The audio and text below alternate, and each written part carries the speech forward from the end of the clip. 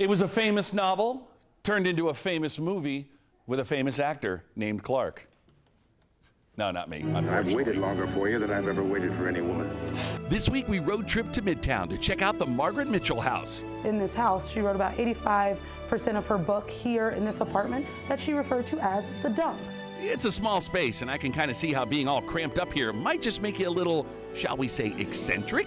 So as she wrote the book, she hid different chapters Oh, wow. around the apartment because she didn't want anyone to know she was writing a novel. You don't think she might have forgotten a chapter or something that we might. I hope not. Maybe we the- might come across it eventually. The lost look hard. chapter! Here it is! hey, there's so much to learn here. Like, what was that famous line again? Where shall I go? What shall I do? Frankly, my dear, Would you believe that line cost the studio $5,000 in the 1930s? That's about $100,000 today. Uh, But of course, movies are so much cleaner now. How do you think it compares to the Avengers Endgame? Oh, well, I've seen Endgame, and it's a lot shorter than Gone with the Wind. So, Then we headed upstairs to check out the movie's premiere at the Old Loew's Theater and move over Super Bowl. This was way bigger. Wow, look at this right here. I mean, it looks like it's a, a ticker tape New Year's Eve night or something yep. here. So streets are jam packed, cars can barely make it through, and um, if we think about Atlanta traffic now, this would this would be a nightmare. And this is Margaret Mitchell's night and the people of Atlanta tonight. The most stirring exhibit is saved for the end. Hattie McDaniel winning an Oscar. Um, and Hattie McDaniel is the first uh, African American to win an Oscar. I sincerely hope I shall always be a credit to my race and to the motion picture industry.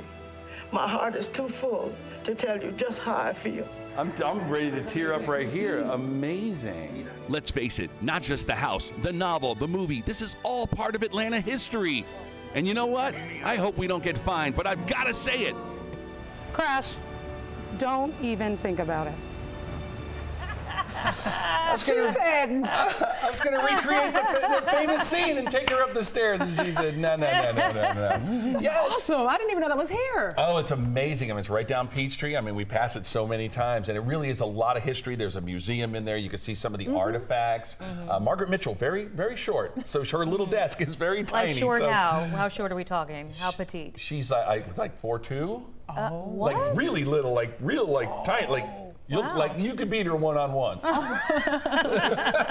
She can be. But that la- the last part we saw, um, uh, while the actress who played Mammy was accepting her Oscar, Mm-hmm. she was not even invited to the premiere. I believe it. Because you know, being of color at back then, and Clark Gable really set things right, and, and was just like, you know, this is.